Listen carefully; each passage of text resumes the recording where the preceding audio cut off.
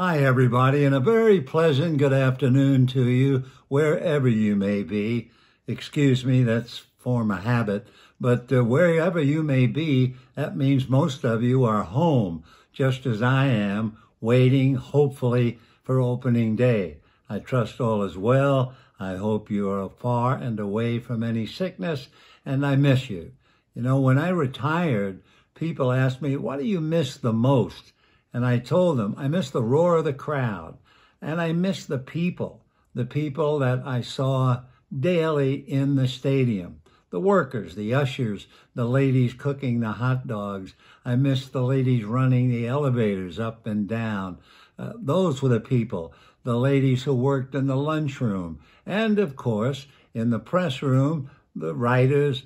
In other words, I didn't really miss the players because once I got involved with radio and TV, I didn't have a chance to hang out by the batting cage. Also, I stopped trying to hang out once the players started to call me Mister. Anyway, these are tough times. Certainly, I don't have to tell you that.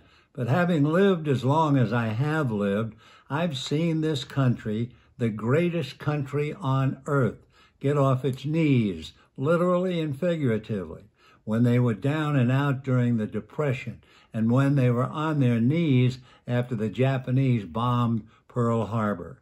And what happened then, they unleashed a tiger. The tiger was the whole country pulling together and getting not only back on its feet, but saving the whole world. So you and I, yeah, things are tough, but we'll be up off our knees soon. And we just want to remind you about that. And in the meantime, spend the precious time at home with your family. Pray a little bit more, like most of us will do. And above all, try to smile. Because when you smile, that makes everybody else feel better. God bless.